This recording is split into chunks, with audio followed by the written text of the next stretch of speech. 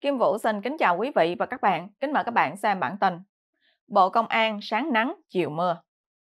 Ngày 29 tháng 10, AFA Tiếng Việt có bài Đóng đảnh như Bộ Công an của nhà báo Nguyễn Nhân. Tác giả Mỹ Mai nói đóng đảnh còn là nói nhẹ, nói yêu đấy. Đúng thì phải gọi là bắt bật, ích kỷ, thất thường, sáng nắng chiều mưa, trưa gió mùa đông bắc. Tác giả lấy ví dụ, điển hình là vụ căn cước công dân. Và đây là hình bài trên AFA. Theo đó, 4 năm trước, công an các phường được giao phải đạt chỉ tiêu càng cao càng tốt, thậm chí phải đạt 100% công dân trong địa bàn phụ trách đi làm căn cước gắn chip. Nếu công an nào không đạt chỉ tiêu thì sẽ bị trừ điểm thi đua, cắt tiền thưởng và có thể ảnh hưởng đến việc thăng cấp.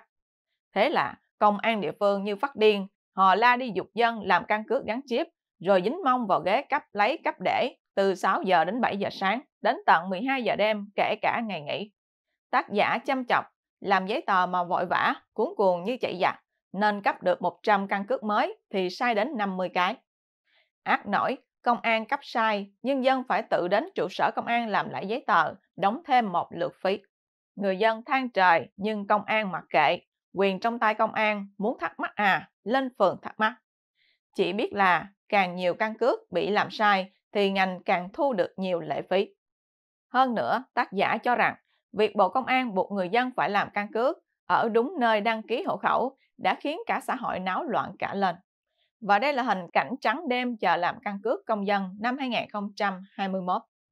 Báo chí la hét, dân tình than vang mắng chửi, mãi rồi bộ cũng thủng, cho phép người dân chỉ việc đến công an, nơi đang ở làm căn cước mới, không còn phải về quê nữa. Dân thở phào, công ty, doanh nghiệp thở ra còn dài hơn cả dân. Nhưng chưa xong, tác giả cho biết mẫu căn cước mới còn chưa kịp sửa những thông tin sai thì Bộ Công an đã thay mẫu mới.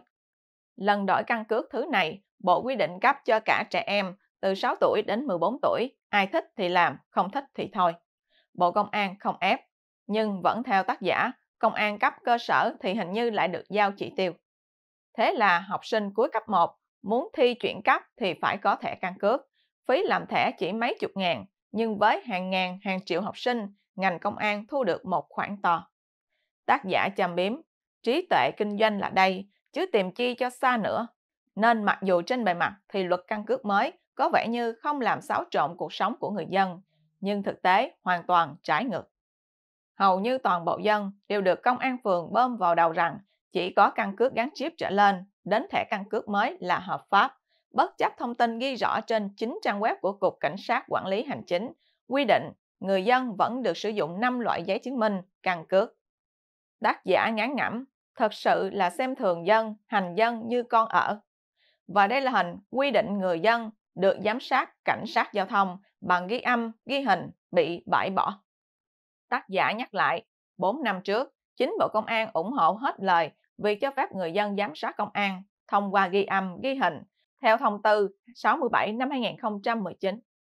Ngờ đâu, niềm vui ngắn chẳng tài gan. Mới vài năm, đến tháng 9 năm 2024, vẫn Bộ Công an ra tiếp thông tư 46, kết thúc chính sự sáng suốt trước đó. Tác giả đề cập đến một lý do mà Bộ Công an đưa ra gây bất ngờ vì sự thành thật. Đó là một bộ phận cảnh sát giao thông chưa chịu khó học tập, nghiên cứu tài liệu khi làm việc với nhân dân, chưa nắm được pháp luật, nghiệp vụ dẫn đến quá trình xử lý tình huống chưa giải thích thỏa đáng những yêu cầu, hỏi đáp của nhân dân. Tác giả chế diễu, trời đất ơi, chơi vậy khôn quá, các anh ăn lương làm việc, vỗ ngực vì dân phục vụ, mà lại lười, dốt, bị dân bẻ cho cứng họng, thì lại đổ lỗi cho dân. Tác giả kết luận, cả hai lĩnh vực kể trên đều là không gian ngành công an tiếp xúc với người dân nhiều nhất, thể hiện sự phục vụ rõ nhất, đồng thời cũng thể hiện quyền lực của ngành công an mạnh mẽ. Thế nhưng, cách giải quyết mâu thuẫn, lúng túng của ngành công an trong hai việc cụ thể nói trên đều tuân theo một phương pháp không hề liên quan đến khẩu hiệu của họ. Đó là đổ tất cả khó khăn trở ngại lên đầu dân, còn mình hễ hả xoa tay. Quý vị và các bạn đang xem chương trình trực tiếp của Kim Vũ với bản tin Bộ Công an sáng nắng, chiều mưa. Xin mời quý vị và các bạn chia sẻ video này cho nhiều người biết và bấm nút theo dõi trên YouTube và Facebook của Thời báo chấm để luôn được cập nhật bản tin mới nhất, nhanh nhất và trung thực nhất. Kim Vũ xin kính chào các bạn và hẹn gặp lại các bạn trong chương trình lần tới. Kim Vũ xin kính chào quý vị và các bạn. Kính mời các bạn xem bản tin. Dân chủ là chìa khóa để phát triển. Ngày 30 tháng 10, VOA tiếng Việt cho hay Tổng bí thư Tô Lâm sốt ruột vì Việt Nam lò dò, lơm dơm, nhiều người gợi ý dân chủ là chìa khóa. VOA dẫn báo chí trong nước đưa tin, ông Tô Lâm nói ngày 26 tháng 10 rằng trong cuộc họp của Quốc hội, sau 40 năm đổi mới, đất nước đã có những thành tựu có thể gọi là kỳ tích, vĩ đại, nhưng nhìn ra thế giới lại thấy sốt ruột vì họ phát triển rất nhanh. Và đây là hình bài trên VOA. VOA cho biết, ông Tô Lâm nhấn mạnh một số vấn đề cản trở sự phát triển của đất nước là nạn lãng phí, các quy định, chính sách còn vướng và sự phối hợp kém giữa các cơ quan, các địa phương. Ông nêu ra thực tế, đó là hàng trăm, hàng ngàn dự án đầu tư công ở các địa phương được cấp cho doanh nghiệp nhưng triển khai lại vướng, lại đứng chờ nhau. Theo VOA, báo Dân Việt dẫn chất vấn của vị Tổng bí thư nói rằng tại sao mình làm chính sách lại vướng chính mình? Nhà nước không làm được thì sao doanh nghiệp làm được? Và ông chỉ đạo rằng khó đến đâu gỡ đến đó, nhìn từng cái mà gỡ, không thể đổ lỗi và cũng không thể chờ đợi nhau. Tiềm năng của đất nước phải được tạo ra của cải vật chất. Tôi hết sức sốt ruột, không thể chậm trễ hơn được. Nếu đứng chờ thì lỡ hết cơ hội, ông thúc giục. Ông lấy Iceland làm dẫn chứng cho rằng nước này từng thuộc diện nghèo nhưng hiện nay rất phát triển, thu nhập bình quân đứng thứ nhì thế giới. Nhờ dựa vào công nghệ số, công nghệ sinh học, GDP gấp gần 24 lần Việt Nam trong năm 2023. VOA cũng cho biết, những phát biểu mới nhất này của ông Tô Lâm đã lan truyền và nhận được nhiều bình luận trên mạng xã hội. Và đây là hình Tổng Bí thư Tô Lâm. VOA dẫn chia sẻ của tiến sĩ Lê Đăng Doanh cho rằng, tất cả những điều đó có chỉ dấu và cũng đem lại hy vọng là lãnh đạo đã nhận thức rõ vấn đề và muốn có cải cách. Vấn đề bây giờ là phải có chính sách và những hành động cụ thể tiếp theo các lời tuyên bố như vậy.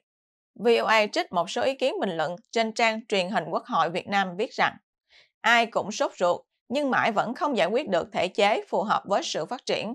Một dự án mà mất 16 năm với 40 con dấu thì nền kinh tế không thể nào phát triển được. Hay một xã hội thật sự công bằng, dân chủ, văn minh thì dân sẽ giàu và nước sẽ mạnh thôi, bác Tổng Bí Thư ạ. À.